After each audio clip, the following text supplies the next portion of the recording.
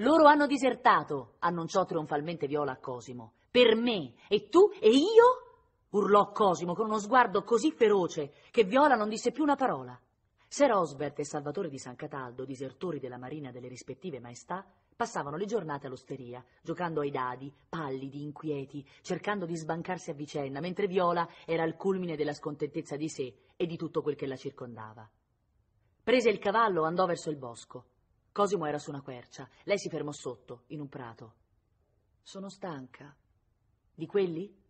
Di tutti voi. Ah. Loro mi hanno dato le più grandi prove d'amore. Cosimo sputò. Ma non mi bastano.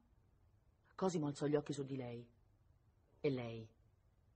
Tu non credi che l'amore sia dedizione assoluta, rinuncia di sé.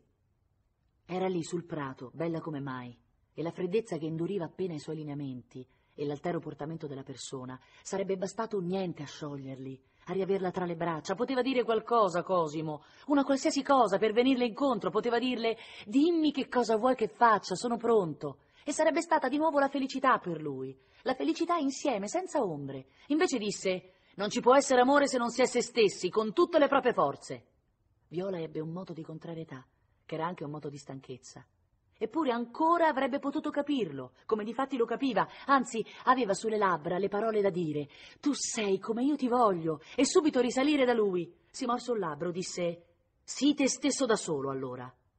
Ma allora essere me stesso non ha senso, ecco quello che voleva dire Cosimo. Invece disse, se preferisci quei due vermi, non ti permetto di disprezzare i miei amici, lei gridò.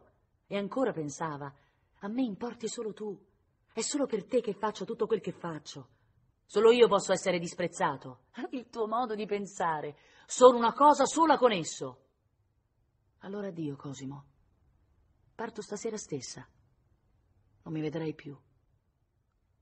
Corse alla villa, fece i bagagli, partì senza neppure dire niente ai luogotenenti. Fu di parola. Non tornò più a Ombrosa. Andò in Francia e gli avvenimenti storici s'accavallarono alla sua volontà, quando ella già non desiderava che tornare. Scoppiò la rivoluzione, poi la guerra. La marchesa, dapprima interessata al nuovo corso degli eventi, era nell'entourage di Lafayette, emigrò poi nel Belgio e di là in Inghilterra. Nella nebbia di Londra, durante i lunghi anni delle guerre contro Napoleone, sognava gli alberi d'Ombrosa. Poi si risposò con un lord interessato nella Compagnia delle Indie e si stabilì a Calcutta.